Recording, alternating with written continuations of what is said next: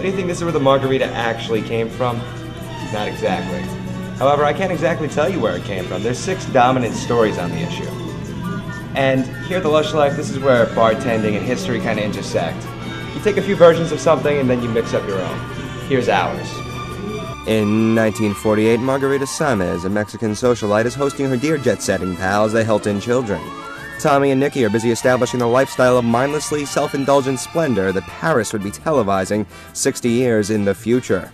After drinking their friend Margarita out of everything but tequila and Cointreau, she uses these leftovers to make a drink they suggest she names after herself.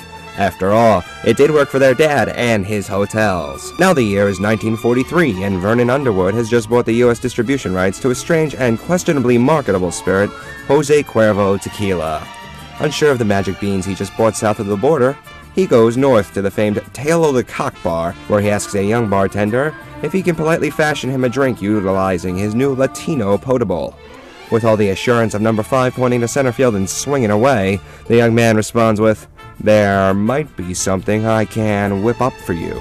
In 1938 or 39, Carlos Danny Herrera was tending bar in a Baja California roadhouse when Ziegfeld Follies beauty Marjorie King orders a Magnolia.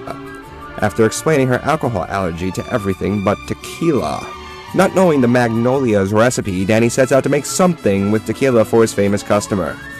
It's okay, Marjorie. It's just tequila in there.